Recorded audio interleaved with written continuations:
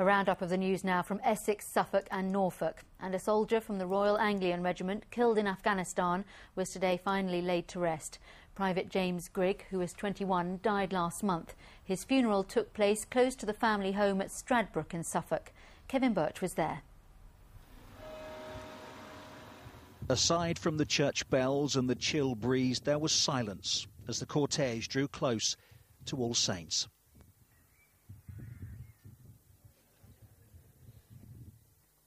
For James's parents, Michael and Pat, and sister Victoria, there is the deepest grief. In their words, a hole left in our hearts.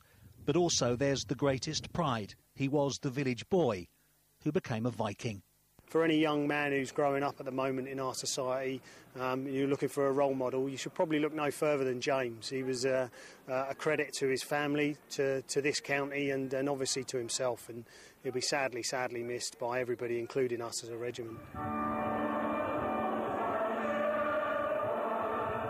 As the funeral began, Stradbroke was at a standstill, streets lined and shops closed. Inside the church, tributes from friends and teammates who shared his passion for cricket. I can't salute you, I'm a civilian. But rest assured that every time I and many others in this church get into our cricket whites and take to the field, we are doing it for you. It's terrible when soldiers are killed in their line of duty, and we want to be here to support the Grigg family and to support one another as our soldiers are still out there too. James died on March the 16th, deep inside Taliban territory. Today was the final part of his journey home, the final farewell. As the poet Joseph Drake once wrote, and they who for their country die shall fill an honoured grave. For glory lights the soldier's tomb, and beauty weeps the brave. Kevin Birch, BBC Look East, in Stradbroke. One man has died and six more people injured after a head-on crash in Norfolk involving two cars and a motorbike. It happened yesterday at Langham near Holt. A local man was killed and two other people were critically injured, including a teenage driver. Detectives from Scotland Yard have been to Kenya as part of a new inquiry into the murder of Julie Ward from Suffolk more than 20 years ago. Her remains were found in the Masai Mara Game Reserve in 1988. Nobody has been convicted of her murder. Detectives investigating the disappearance of a mother from Basildon 10 years ago have arrested a man on suspicion of murder. Officers have been at Nicola Ray's old home in Voysey Gardens all day. The mother of two was 29 when she disappeared in May 2000. The digging began this afternoon. The team included forensic archaeologists. Every spadeful scrutinised. Neighbours said it wasn't the first search. They've done the same sort of thing as they're doing now a couple of times, I say, in the last, I don't know how many years. Nicola Ray was a 29 year old mother of two. She vanished on May the 2nd, 2000. She'd been on a night out in Basildon and was last seen leaving a friend's house on a nearby estate to walk home. That was at about 1.30 in the morning, despite extensive inquiries in both Essex and Liverpool, where she had friends. There's been no trace of her. The Basildon cul-de-sac where she lived was cordoned off this morning. She was sharing this house with her fiancé when she disappeared. Today's search centred on the garage, and it began with this piece of specialist equipment. The technology that we're using today is a radar technology, which we're then scanning the area of this garage to look where there are any anomalies underneath the floor, to then um, show the officers where we need to start digging today. And now they're using uh, X-ray equipment to search the concrete. Oh. When reporters told neighbours what was happening, some appeared shocked. The media were invited to film the digging team.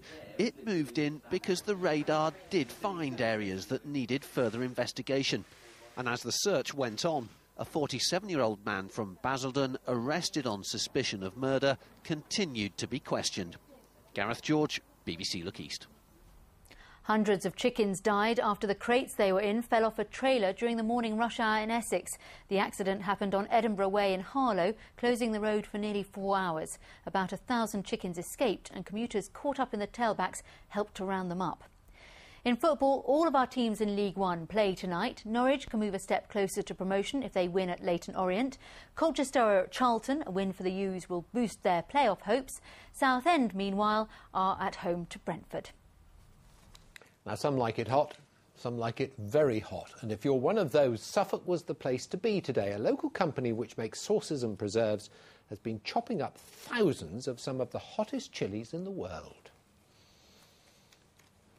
The Scotch bonnet chili is hot, about 40 times hotter than Tabasco sauce. The Suffolk company Jules and Sharpie has imported 140 kilos of Scotch bonnets from Uganda. But someone's got to wash them, chop them and mince them. Usually I'm wearing a mask, and now I haven't got my mask on. The chilies are really getting to my throat, which is why I'm finding it quite difficult to talk. We work from 8.30 to 5, and after a day of that, I can tell you that's enough.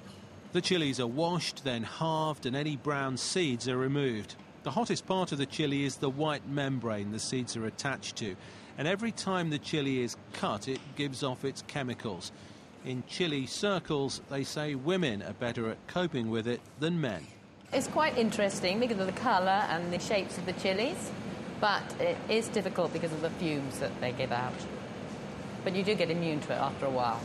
The halved chilies then go into the mincer, and at this point, you really need a face mask or coughing is guaranteed.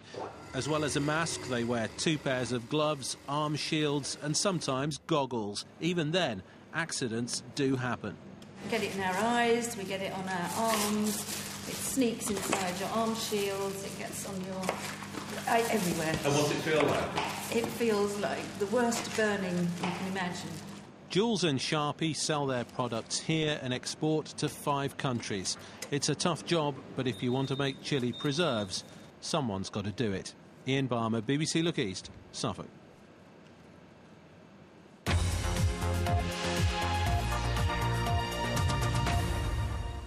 You're watching Look East.